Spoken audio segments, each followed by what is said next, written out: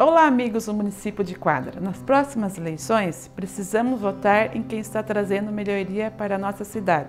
Para deputado federal, vote no Paulinho da Força, 77 e 77.